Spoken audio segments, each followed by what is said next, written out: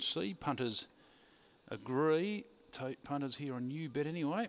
As they come in now, the odds move in. Greg Mill looking for a double here, and so is Graham Scott. So they're poised to uh, get another one on the board. Jamie Hosking had a win, uh, two winners earlier in the night. Well done to him. But they're loaded away now. And not much between Hanson Harley. Holly's Lass drawn the rails. Hanson Harley in two. And we're just about right for the final event. This is the Carlton United complete the night.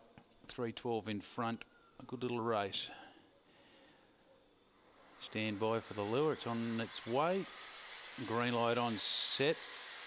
And racing. Holly's Lass, Hanson Harley fair with Holly's Lass going through to lead.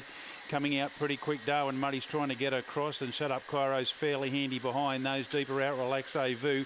And then Oliver's Guess. Well back Levi Cairo and Bonshore again up to the bend across the track. Look at Hanson Harley get the rails run and come through. He's a good little dog. Hanson Harley wins it by two on the line to Darwin Muddy. Holly's Lass goes into third spot. And then Oliver's Guess not too far away from Shut Up Cairo. Behind those, then Relaxe Vu didn't go on with